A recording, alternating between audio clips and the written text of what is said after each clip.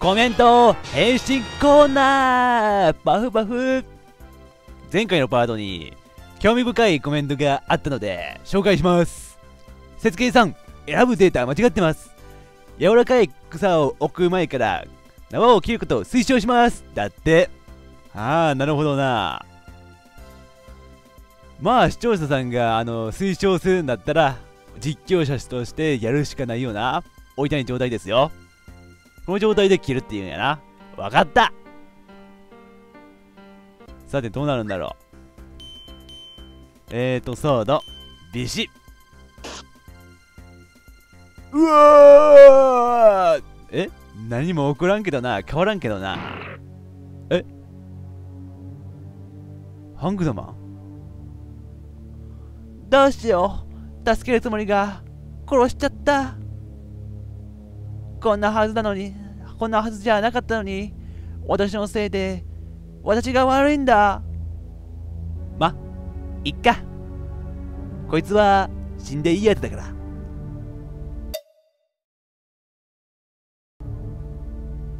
キャ。わあノット先生。キャー。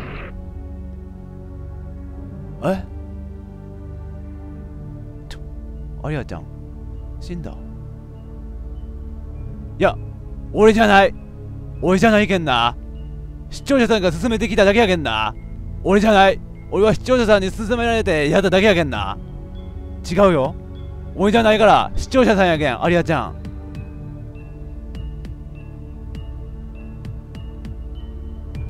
雪やコンコンあられやコンコン。でも本当に詰まってるのは君への思い。やあ節介好きです。ぐしゃりや。お家の外ではめっちゃ寒いぐらいに雪降ってますんであったかくしてやってます実況。何か見えるようになったらしいけどさ結局何が見えるようになったかわからないんだよね。何が見えるようになったかわかんないんだよね。2回言いました。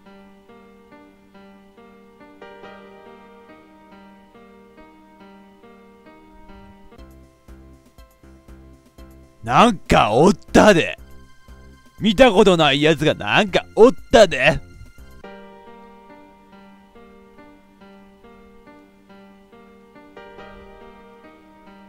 やっぱなんかおるで あ、そうかそうか。俺ちょっと最近寝不足だったけんな、ちょっと。ちょっと寝不足でさ、ちょっと変なもんが見えたんかもしれんな。ちょっとここの水で、ちょっと顔洗って、バシャバシャ顔洗って、バシャバシャ。よし。すっきりした。これでいけるだろう。おるやないか。なんか変なおるやないかね。若干ちょっとかっこいい。変なって言ったけど、ちょっとかっこよさそうなのがおるやないか。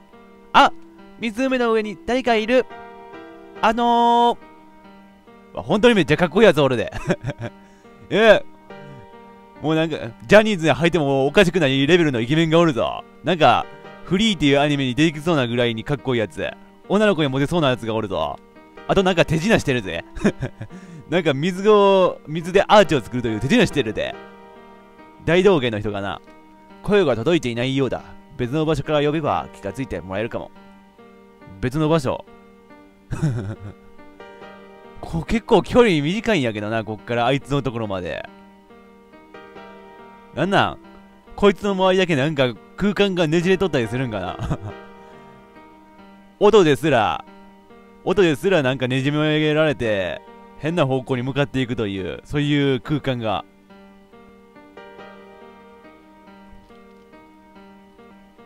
もしかしてこれ上から？上にちょっと右の方にこっちから叫んだらいけるとかそういう話か？お？ここから大声を出せば店員さんに気がついてもらえるかも。大声出すだけなんでなんでやめとくって選択肢あるんだちょっと怖いやないか。何かあるんちゃうんかって思って怖いじゃないかこれ。なんなん大声出した瞬間あの天使が持ってるもんうるさいって言うて持ってるもん投げつけてくるとかでゲームオーバーになるとかそういう話じゃないだろうな。大丈夫か？出すよ。大声出すよ。ぶつけてくんなよ。持ってるやつ。もう少し前に行った方がいいかな。アリアちゃん。それ多分さ俺の予想だったらパート1の時みたいに崖から落ちたりせんだろうな。大丈夫なん？前に行って。アリアちゃんのことやけどそんなことがあるんじゃないかって予想してしまうんやけどほら見てみろ キャーアリアちゃん水も落ちた あ、湖の埃と、湖の塵となるのか。アリアちゃん、湖の塵となるぞ。水を吸った服は重かった。アリアは泳ぐことができないまま、泉に沈んでいくのであった。これゲームオーバー？あ？あ、助けてくれた。めっちゃイケメンや、この人。知らない女の子が湖に行ったところを助けてくれる。大丈夫か？服が重いから泳げなくなって、もうダメかと思った。天使さん、助けてくれてありがとう。あ、服も乾いてる。服乾いとるだと？もしかしてこの天使、アリアちゃんが着てしと間に服脱がして乾かしてもう一回着せたとかそういう話じゃないだろうな。だとしたら、この天使、アリアちゃんの裸見とるやないか。天使、お前、裏山。いやいやいやいや、けしからんぞ。私は大天使、ミカエル。世界のバランスを管理している。ミカエルなんかモンストに出てきそうな名前のかっこいい名前やな。世界のバランス？この世界は未完成で、バランスが崩れると世界が壊れてしまうのだ。壊れたらどうなるの？この世界の住民の住む場所がなくなる。そのバランスを保つのが私の仕事だ。すごい仕事してますね、あなた。月給200万ぐらいもらわんかったら割に合わんな。なぜ泉に飛び込んだ？え、そこに、え、なんか、あの崖、上の方がさ、飛び込み台みたいになっとったけん飛び込みたくなった。気がついてもらおうと、泉の上で声を出そうとしたら、足場が崩れて落ちちゃったの。は？何それ？みたいな感じの なあ、は？何それ？みたいな。そんなやつおるんか？みたいな 沈黙があるけど。節制という言葉を知っているか？知らん俺ここまで21年間生きてきてた中でさ、節制って言葉一回も聞いたことないんやけど、マジで。もう本当マジで。節制どういう意味なん？どうこさないように自分を抑えると意味だ。じゃあ俺、節制できとるわ。うん。結構自分のこと抑えてるもん。もう、自分を抑えることで有名な、あの、田中君ですら俺のことをさ、抑えとる、抑えとるわ、あいつ、みたいなことは言ってくれるけんな。私が助けなければ死んでいたんだぞ。足場が悪いのは分かっていたはずだ。思いつきで行動していては取り返しの使いがないことになる。うん気をつける これ、ローラみたいなあっさり言う感じさ、アリアちゃん絶対気をつけないな、今後。もう一回ぐらいさ、同じような展開あるだろうな。素直でよろしい。節制の方だ。持っていくといい。ありがとうなんか知らんけどありがとう。節制。どんなカード？どうやって使うの？生命の泉を込めたカードだ。怪我をしたら使いなさい。回復アイテム。じゃあ HP 半分になっておけんちょうどいいで。やった。一度だけだが、軽い怪我なら一瞬で治すことが可能だ。その軽いってどれぐらい軽い、どれぐらいの軽さだったらいけるんですか？骨折って軽いうちに入るんですか？やった節制のカード手に入れたこれヤフオで売ったらどれぐらいの値段でつくかな？よっしゃ。ありがとうな。まあ、手品やってる。てかよ、見たらさ、今の持っとったもんってカップじゃん？あの、探しとったカップじゃん？あれじゃ、なんか、なんか神のお告げ聞く聞くとか言おったで。なんか、泉のしもべだったかが、両手に持っとるみたいな感じのこと言おったけど、これもしかしてカップなん手品すごい手品ではないんだが。まだ何か用があるのか？その手に持ってるのってカップ？そうだが。あ、本当や。やっぱり本当にカップだったんじゃ。なんか、カイジが地下チンチロの時にさ、サイコを投げ込む丼みたいな感じになってるけど。どうしても必要なものだから貸してほしいの。私は天使だ。困っている人間の頼みは聞いてやる。マジで優しいだ、この人。カップを受け取った。ミカエルさん、ありがとう。お礼に私のパンツあげようかあ、いらんな。コミカエルさん、絶対さ、清純派というかさ、そういう、スケベなタイプじゃないけんな。紳士的やけんな。パンツはいらんタイプ。カップまだ持っとったんか カップってまだ持ってたの？これは泉に落とした時のための予備だ 予備とか持ってんのなんなん？このカップ世界の、あ世界の破壊を防ぐために必要なアイテムだった。仕事道具だった。だとしたら、用を貸してくれたな。ありがとうな、そんな大切なもん。ミカエルさんも落としちゃったりするんだね。私と同じ。何を言ってるんだ、こいつは、みたいなことを頭の中では思っとんだろうな。いくら優しい、紳士的だと思う、言ってもさ、思っとんだろうな。さて、どうすればいい？カップが手に入った。で、あの、ペンタクルだったかも手に入って、もう一つなんかあったな。手に入れなあかんやつ。けどさ、紙くずってなんかあったかな？心当たりが全然思い出せんのやけどさ。紙くずか。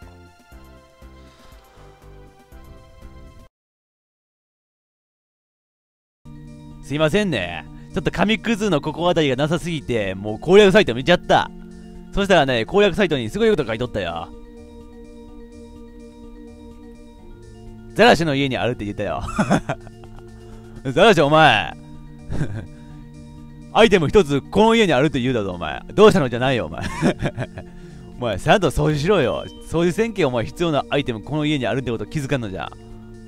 確かによう考えたらこれ紙くずたくさん落ちそうもんな。何のための紙くずなん？なんなん？お前漫画家並みに紙使っとぞお前。漫画家がボツ、なんか自分の書いた原稿をボツにしたような、そんな感覚で散らばっとるぞお前。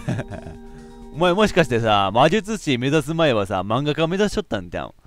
挫折して、あの、魔術師目指しとった感じなん？逆じゃない？むしろどっちかというと魔術師の方がさ、なりにくいと思うんやけど、難しいと思うんやけど、なるん。あったやん ワンドあったやん、これ。この棒状のやつもワンドだったんかお前あったぞ、お前。ワンドここにあったぞ。なんか髪の中に隠れているとか言いながらさ、普通に見えとるぞ、これ。多分、アリアちゃんがワンドってどんなもんか分かってなかっただけなんだろう。な んじゃこりゃ。お前ちゃんと掃除しろ。うわほら、見てみろ、ザラッシュ。お前がこの家掃除せんかったっけ？天罰落ちたぞ、お前。けどこれで全部揃ったんや。4つのアイテムを集めてくれたようだね。お前、殴るぞ、お前。集めてくれたようだなって、お前。一つ、お前の家あったぞ、お前。頑張ったよほんと頑張ったんぞ、アリアちゃん。国民栄誉賞もらってもいいぐらい。ありがとう。大変だったでしょ？アリアはここで休んでてね。あとは、僕が頑張るよ。お前、私頑張ったのよ。コーヒーの一杯ぐらいおごに入れてくれたっていいじゃない。ちょっと疲れてるのよ。マッサージしてくれてもいいんじゃないの？まだかな？マッサージ、マッサージ、マッサージ？あいや、準備できたから外に来て。あ？ザラッシュが私のためにマッサージ機を用意してくれたのかな？ワクワク楽しみたな。マッサージ機。私疲れたからマッサージして、マッサージ機じゃない。これはマッサージ機じゃない。絶対マッサージ機じゃない。魔法陣。魔法陣の準備ができたよ。召喚魔術を始めるよ。召喚魔術しようとしてたんか、お前。なんなんお前。まさかお前、死んだ母親を蘇らせるとかそういう話じゃないんだろうな。お前、キンキンに触れたらやばいぞ、お前。右腕失うぞ、お前。いけるんか、お前。何を呼び出すの？まさか、この世のものではないようなものを呼び出してさ、世界征服しようとしてるだろ、お前。だとしたら私、アイテムを集めたってことでさ、片棒を片付かされてるじゃないか。ザラッシュ、そんな人だったの？大嫌いってビンタするぞ。不思議な力を持った異世界の神が呼べたらいいね。すごいの呼び出してるやん。本当にこの世界征服できそうなやつ呼び出そうとしてるやん。お母さんじゃないんや。お母さん呼びらせるんじゃないんじゃ。エドワード・エルニック的な話じゃないんじゃ。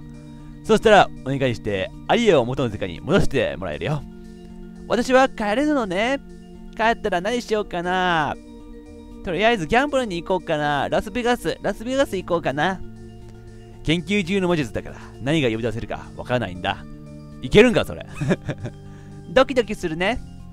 神じゃなくて悪魔とかが出てしまうこともあるから危なくなったら逃げよう。さらっと言えるな、これ。その涼しい顔でよくそんなことが言えるね。悪魔？それじゃあ、始めるよ。いや、やめといた方がいいんちゃうんな、これ。え？ああ、ザラシュ。お前の中の悪魔ってこんなんなん？え、私の中の悪魔はもうちょいまがまがしい。正直、デュエルマスターズの悪魔神バロム的なのを思い出したけど、闇以外全部破壊されるんじゃないかなって思思ったけど、全然違うね、これ。デーモンのデの字もないね。うひゃーだからここ僕は首部長嫌いなんだよねどっか行った何今の神様？悪魔？絶対違う。ただの黒い影。さあ、どっちにも見えないけど、言葉を話してるから、知的な生命体だろうね。もうそんな、涼しい顔で分析せんでもいいけん。どこか行っちゃったよ。追いかけてみよう。せっかく呼び出したんだから お前絶対追いかけるのめんどくさいけん、アリアに任せようと思ってるだろ。私が行くの？私が行くなら、20万払ってさっきのやつ、足が速かったからね。体力がない僕には無理だ。明るい場所が嫌いってことは、暗い場所に隠れてるんじゃないかな。それじゃ、よろしくね。お前そんな、そんな涼しい顔でよく人に物を頼めるね。人に物を頼む時のさ、頼み方ってあるでしょ。まあそういうわけで、まあ次回、あのよくわからん生き物を追いかけていくけど、ここで宣伝するとすれば、あの、グシャアリアの作者さんが過去に作った資源の蝶、赤髪の音量、仏念世界にもあの黒いやつ出てきとったからね。興味があったらそっちの3作品、実況を完結しとるんで、ちょっと再生リストから飛んでみてください。というわけで、仕上げ。ぐるるるぐるぐるアリアちゃんのアリアちゃんじゃんけんじゃんけんぽんどうだい？いきなりのじゃんけんコーナーだよ。不要使いだろ